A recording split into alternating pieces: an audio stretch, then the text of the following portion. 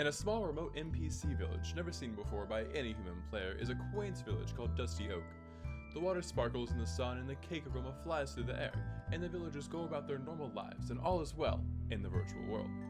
Well, sort of.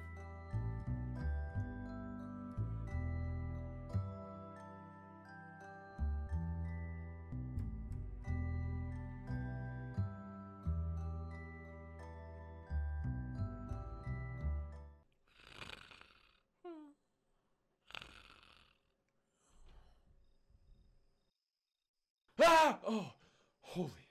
That felt so real. What were those people? What was that thing above his head? Uh, uh, son, what's up? Is everything okay? Uh, yeah, yeah, I just, um, I had a weird dream. It's, I just, I feel all weird now. Oh, oh, weird? Follow me. Okay, okay, okay. I knew this day would come. It's perfectly okay. This is 100% normal. It happens to us all. What, what happens to us all? W well, would people, you know, around your age and your body starts change. What, what? No, no, no, grandfather. That is not what I meant. I had a weird dream. There was some strange man with markings above his head. Did you Google it? What? Did, did you Google it? Um, what's Google? I, I don't know. It, it just, it seemed right to ask.